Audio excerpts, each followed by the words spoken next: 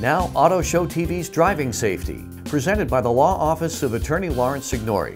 I'm Attorney Larry Signori. Please, let's all work together to keep Rhode Island roadways safe. So if you've been convicted of drunk driving, either in Rhode Island or Mass, the judge or the DMV may order you to install one of these in your vehicle.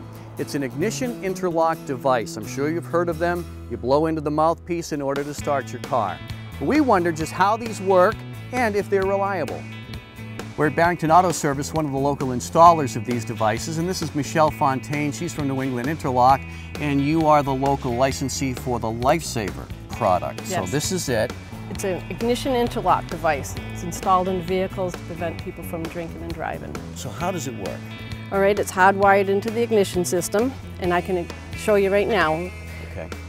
And this is a demo model, so we can we can show you how All right, the wait light is on. It's heating up the fuel set, uh, cell to take a test. Now it's asking for a blow. Okay. Take a nice deep breath. I got to say the word do and blow for five seconds. Okay.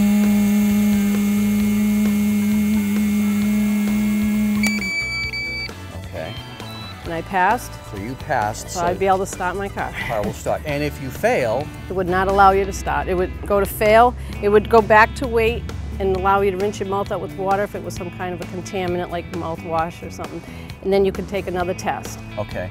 Now, what about people who decide, well, I'm just going to go in there and I'm going to rip it out somehow? What happens? Well, the device is pretty smart. It detects, it comes up in the events log that power's been disconnected. It comes up that the car has been, the engine's been started without a test being taken.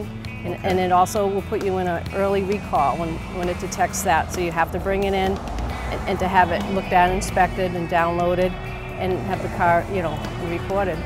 And as far as the the legal limits, it's not really it's not really calibrated to the legal limit. It's it's it's any amount of alcohol essentially, correct? It picks up any alcohol, but for Rhode Island, it's set at .03 for a fail, and you know, of course it's .08, so it's well under the limit. So it's really abstinence. Michelle, nobody wants to have to deal with this. We don't want anybody drinking and driving.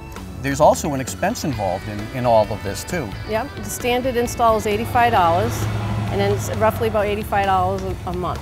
Michelle, what happens if somebody gets the bright idea of having somebody else blow into the device for them?